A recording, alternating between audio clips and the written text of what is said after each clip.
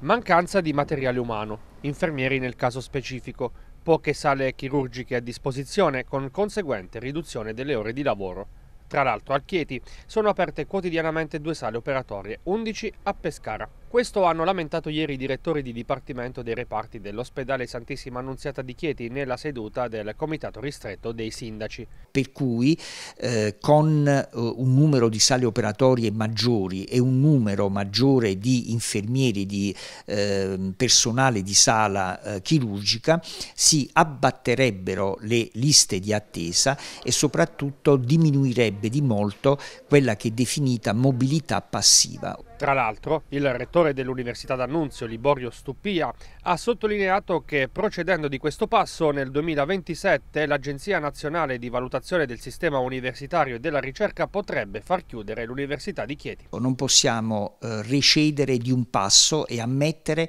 che il nostro ospedale policlinico possa essere declassato o addirittura cancellato dalla mappa delle eccellenze perché la facoltà di medicina ci venga o ci possa essere tolta, non lo permetteremo mai. Il sindaco Ferrara poi tiene a stemperare il clima pesante che si è creato in questa occasione con il manager della locale ASL, Thomas Scheller. Ovviamente partiamo da un principio che eh, le critiche costruttive a un miglioramento del servizio, in questo caso di un servizio essenziale e importantissimo come quello della sanità in una città capoluogo, ma non solo nella città capoluogo, ma in tutta la provincia, è di un'importanza fondamentale, non fosse altro perché la salute è al primo posto degli obiettivi eh, di eh, uno Stato e anche di un ente locale eh, degno di questo nome.